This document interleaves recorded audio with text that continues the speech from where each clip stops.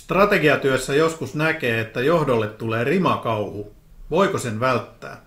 Meillä on tässä hyvä suunnitelma, mutta. Tämä on lause, jonka kuulee silloin tällöin. Tuo mutta-sana sisältää vihjeen siitä, että rimakauhu on syntymässä. Tilanne on kiusallinen. Hienoja oivalluksia on tehty ja nyt johto alkaa nähdä esteitä.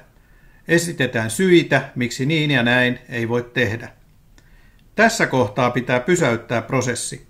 Rimakauhun syntyminen täytyy estää, muuten toteutus floppaa ennen kuin se on edes kunnolla alkanut. Nyt nostetaankin koetut esteet framille ja haastetaan kaikki uskomukset oikein kunnolla. Kun vinoutuneita uskomuksia saadaan muutettua, niin esteetkin alkavat poistua. Sitten pohditaan vielä, mitä esteiden poistamiseksi pitää tehdä. Yhtäkkiä johto huomaa, että rohkeasti voikin edetä. Poista vinoutuneet uskomukset ajoissa, vältä trimakauhun. Temppu tehdään tarinalla.